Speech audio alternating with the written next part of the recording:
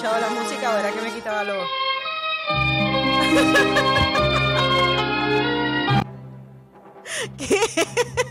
de repente me, me, asusté con la mezcla de música que acabas de poner. ¡Eh, a rayo! Todo, todo eso, todo eso. o sea, eso es un preámbulo de que Alexandra viene hoy. Melodioso, cine, reggaetón. Ahí va.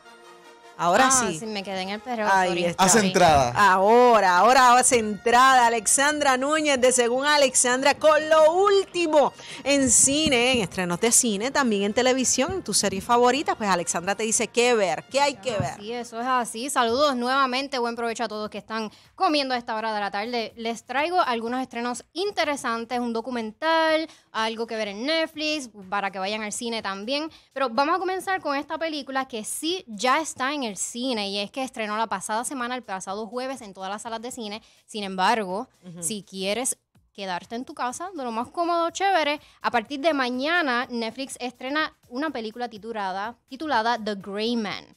Es una película de acción, suspenso, este tipo de película de acción protagonizada por Chris Evans, eh, Ryan Gosling y Ana de Armas. ¿Esto es película? Esto es una película. Eh, tienen la alternativa de verla en el cine porque, como mencioné, estrenó la pasada semana, pero Netflix la, la va a estar estrenando a partir de mañana viernes. Es una película bien interesante, bien divertida, mucha, mucha acción y es dirigida por los hermanos rusos. Los que conocen a estos hermanos conocerán que ellos dirigieron las películas de los Avengers. Eso, ya sabes más o menos por la línea. Por esa línea que va, sí. Nada de superhéroes, todo es pura acción y sigue a los, estos personajes, en particular el personaje de Ryan Gosling, quien es un. E, él es como una parte especial de la CIA en donde le dan unas misiones de las que él no sabe mucho. Sin embargo, en una ocasión, él descubre que está pasando unas cosas extrañas, alarmantes eh, dentro de la CIA. Él no se supone que conozca estos secretos de, esa administración, so contratan a Chris Evans para que acabe con él, porque nadie puede saber estos secretos. So, es básicamente un juego del gato y el ratón, Chris Evans eh, detrás de Ryan Gosling tratando de pues, terminar con su vida. So, lo vamos a ver a través de distintos países de Europa. Esto es una de las películas más costosas de Netflix. Ellos están apostando a todo. Costó 200 millones de dólares hacer esta película. y le puedo decir que todo se fue en talento y explosión. Explotando carros igual. Todo se fue en talento y explosión. Honestamente, la historia, a mitad de la historia, le voy a, le voy a ser sincera, a mitad de la historia sucede algo que yo dije, ¿sabes qué? Esta película, si hacen esto y esto, se acaba. se acaba aquí, no, no tienen que hacer más nada. ¿Y pasó lo que dijiste? No, siguió la película ah, porque pues, ellos no me escucharon a través de la pantalla y pues siguió la película. No, me ignoraron. Eh, como los deportes. Yo como que, pero haz esto, haz esto eh, otro y ya. No, no. Pero eso es lo que uno quiere. Eh, de este tipo de películas, eso es lo que uno quiere. Te mantiene al borde del asiento, es bien divertida, es una película seria. Esperen muchas explosiones, como, como le mencioné. La, la historia, lamentablemente, no es muy nada complejo, pero todo por ver a estos tres personajes eh, particularmente hermosos en pantalla, es como que, wow, yo estoy aquí para esto. tengo una pregunta, el hecho, el hecho de que, no, ellos no usan Botox, no. el hecho, de bueno, haga eh, falta. todavía, no, todavía, no.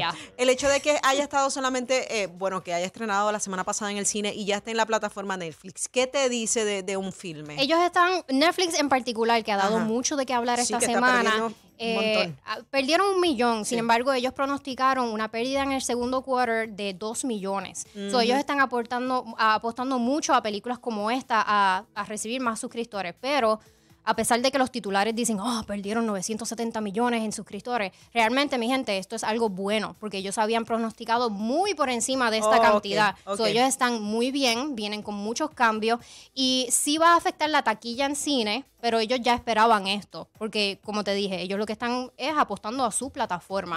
la razón por la que, que estrenan muchas veces en cine es porque quieren llevar la película a más allá, tal vez algunos premios, quieren darle más exposición, eh, quieren hacerlo más teátrico. Pero más allá de eso, Netflix sabe lo que hacen. No, está, no, no, tiene nada que ver con la calidad de la película. No, para, nada, para, nada. Perfecto. Ok, ¿qué más tenemos, Ale? Mira, por otra parte, a través de Amazon Prime Video, hay una película que estrena mañana, se titula Anything's Possible. Es una película de romance. Es tu típica película de romance de, teenager. Eh, yo. Esta tiene, esta tiene un twist.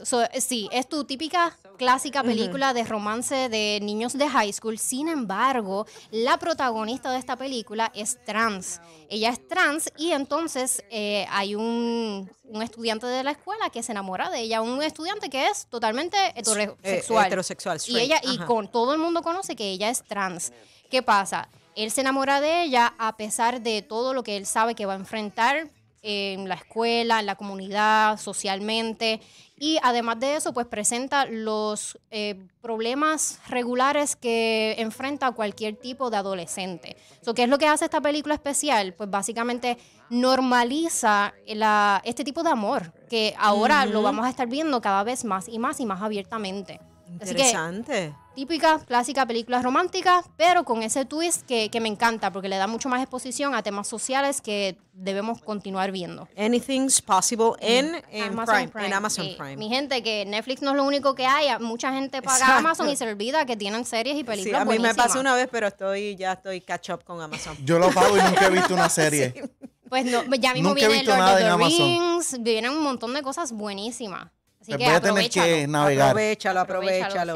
En salas de cine únicamente una película de horror y suspenso que se titula Nope. Esta película es eh, dirigida por Jordan Peele. Quienes conocen es el trabajo de este actor ahora convertido en director y guionista. Él es más, mejor conocido como un comediante de sketch comedy. Hace como que parodias y este hacía parodias y este tipo de, de cosas a través de Comedy Central.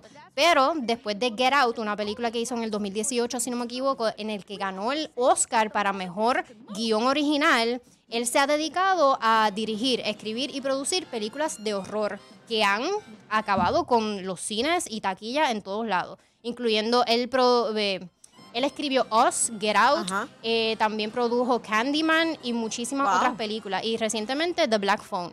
Esta película no tuvo, no se mostró a la prensa lamentablemente, pero ya en Estados Unidos han lanzado la, la reseña y han dicho que es la mejor película del año. Esta película. Esta película, no. solamente de horror, sino película en general. ¿En serio? Bien interesante. Eh, eh, básicamente lo que el trailer nos dice es que esto, este par de hermanos, ellos son dueños de una finca de caballos y ellos prestan estos caballos, sus servicios a películas de Hollywood, como películas que necesiten caballo. Y entonces de repente ellos ven un plato volador o un ovni, algo no, que no pueden identificar, empiezan a suceder un montón de cosas raras. So, ahora entonces ellos están enfrentados a o enfrentar este, esta cosa que está sucediendo o decir, nope, me voy. Y, y, de ahí el nombre, nope, me voy. Exacto. es precisamente por eso el título de la película. Es como que, ¿qué hago? Pero una ¿Eh? película de horror. Es una película de horror. Y si conocen a este director, él también toca muchos temas sociales, eh, eh, discrimen, eh, racismo, todo este tipo. Así que bien interesante. Esta por lo menos es mi película de este fin de semana. Estoy bien motivada para verla. Increíble. Mira. Yo, yo ahí no sé. Yo, yo no veo muchas películas de horror. a mí me, da, me da miedito. No, pero no sé. A mí me gustan. Me voy a quedar con la fresita, con la. Sí, sí. Ve, yo, tú eres fresita como yo, tú eres fresita como yo, no venga, no venga. No, claro, de vez en cuando. Yo tengo mis moods, me gustan, me gustan, tengo mis moods, me gusta de todo, en verdad. Aparte de que tengo que, ver de tú, todo. tú tienes, tengo que ver de todo, tienes que hacerlo. Pero a veces me gusta como que, ay, hoy tengo ganas de ver una película bien basurita. Como que bien, qué sé yo. O sea, como que una basura buena. Y ese nivel de basurita es por debajo de fresita. Sí, por debajo, sí, porque estoy hablando como que películas de Adam Sandler, como que Happy Gilmore, The Waterboy. O sea, es como que esas películas que para mí son clásicas, pero para mucha gente es como que basura, pues para mí es basura clásica. Exacto. pues esas películas, tú lo que tienes que hacer con esas basuritas tuyas, tú no las dices a mí a Laisa, nosotros vamos a estar bien. Y nosotros los, las elevamos. Claro que sí. Sí, sí, las elevamos a, a, a, peliculones. Te queda algo más, Ale, por ahí. Mira, tenemos un lanzamiento más a través de HBO Max y se trata de un documental que se titula The Last Movie Star. Esto es eh, dirigido por Ethan Hawke, que él es mayor mayormente conocido como actor. Esta es su primera producción como director. Eh, es un documental interesante porque sigue la vida de Paul Newman y Joanne Woodward, que ellos eran dos actores clásicos de Hollywood de la época dorada, que estuvieron casados por 50 años. Lo que hace este documental interesante es que esta pareja de esto de Hollywood de antaño, ellos habían hecho unas transcripciones, unos tapes, unas cassettes de unas entrevistas porque ellos querían escribir un libro. Lamentablemente ellos como que se quitaron y echaron todo a la basura, quemaron los tapes, pero quedó una transcripción escrita. Solo que Ethan Hawke está haciendo es que él reúne a actores como George Clooney y otros actores más para que ellos lean esas transcripciones como si fuera un guion pero en las palabras de Paul Newman y Joan Woodward.